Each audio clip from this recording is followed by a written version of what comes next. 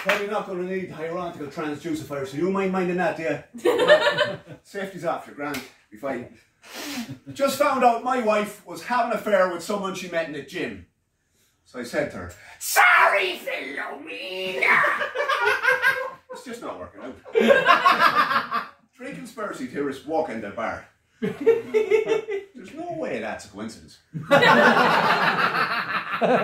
Never believe atoms. They make up everything.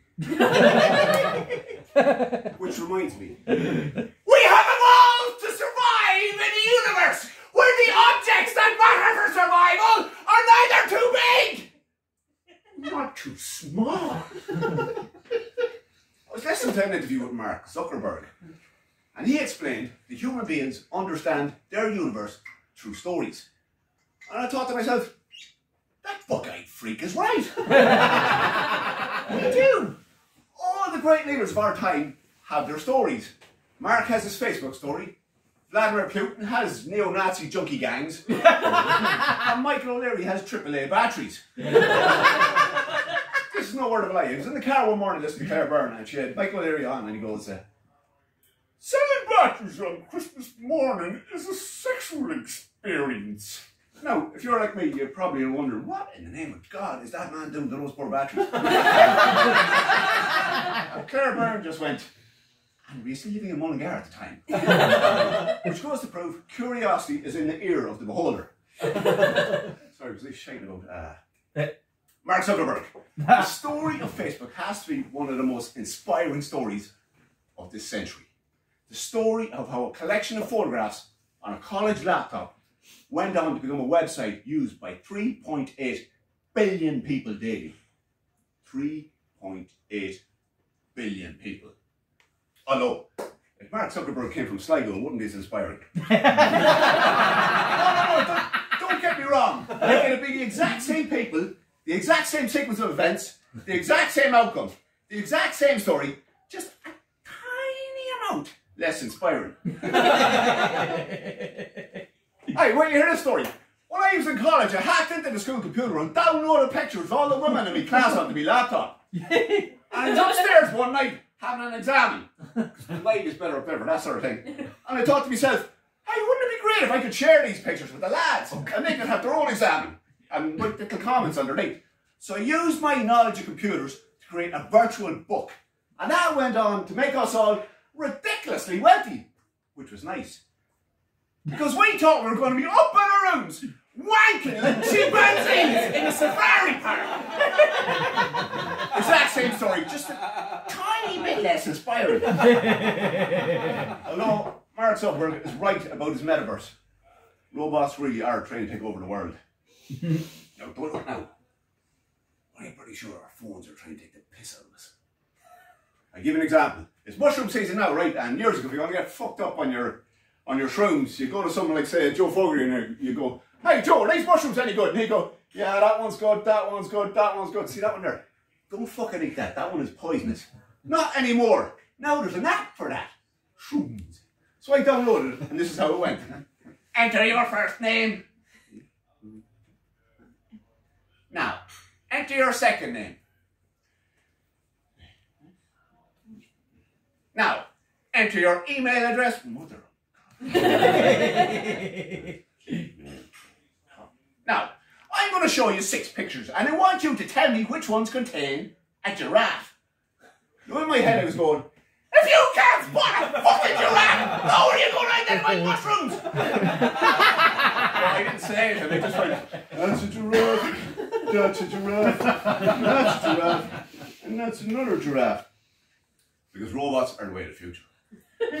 Within 20 years, 90% of the jobs currently being done by humans will be done by robots. 90%! Even in Nardi, Shiakana. CSI Ballymore, 2042.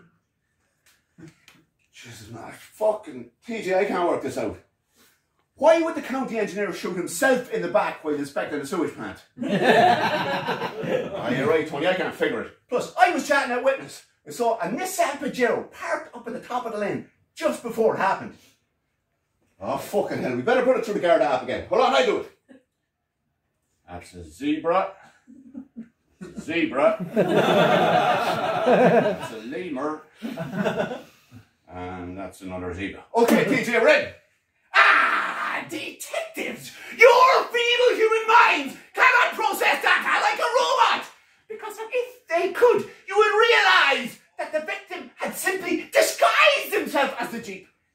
To steal excrement.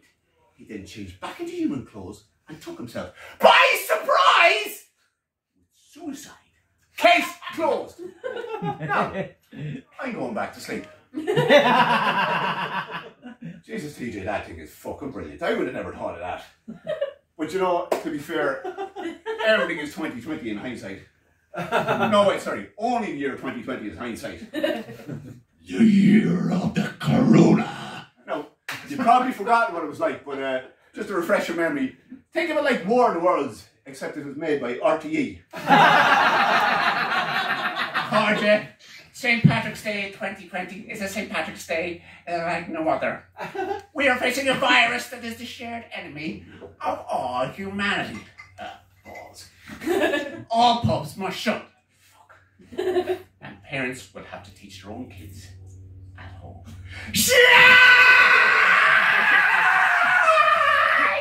I know how you manage. Well, what I did was channel the spirit of 1980 schooling on one man in particular, Brother Liam from across in St. John's School. The bozo. Hey, boy. Hey, boy. Hey. Ow. Up to that point, my kids have been enjoying what I consider was progressive schooling. Not anymore. Sit down and forget about the fucking computers and you forget about your Instagram, your Snapchat, your 2chan, your 4chan, your WhatsApp, your fucking Zoom, your TikTok, and your fucking Telegram, and all your buttocks. Out your pencils. What do you mean you forgot it? You haven't left the fucking house! Who said that? There's one thing I will not stand in here. It's bad language. And you are a foul mouth cunt! Get out that door! Get out that door! Ressie, read something. Give up the hair onto the transjuice fire. Read harder! The how am I supposed to fucking hit you to keep moving? Where is your train on galore? Your train! How many fucking train on galores do you have? Where is it? In the shed! Your fucking brain must be in the shed. How are you going to calculate the four hyperions of an ellipse using? I think it's in the shed. Hyperions of an ellipse. The Razamut, the Methuselah, the Langdunk. Everybody, repeat after me. Razamut, Methuselah, the Langdunk. Erasmus Methuselah, Langdom, Erasmus Methuselah, Langdom, Erasmus Methuselah, Langdom, Sanctus, Dominus,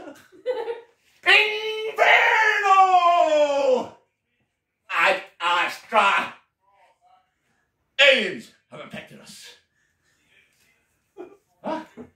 Excuse me, sorry extraterrestrials have infected us. Look, it doesn't matter what you call them. They have arrived. And anyway, it's far from fucking extraterrestrials you were reared. Do you know what this one said to me at the start of the gig? I was walking in, she goes over. I, I don't watch the half hour episodes of soap operas. What I like to do is watch them on omnibus at the weekend. The fucking omnibus! La-dee-da! fucking omnibus! Huh? Listen, Gorgondola, FZB 31758, if that's your real name. and I have my doubts. Listen, Gorgondola, FB7 3158, if the fucking half hour episodes of Fair City on a Tuesday and a Wednesday and a Friday are good enough for the rest of us, they're fucking good enough for you! fucking word to? Omnibus. Back to work! Erasmus Methuselah! Elaine Duncan Erasmus Methuselah! What's going on over here? You're supposed to be homeschooling, not home staring blankly at the fucking spacing. Are you missing something? For fuck's sake! The fucking future of country you can't string two fucking sentences together! God! Ah, fuck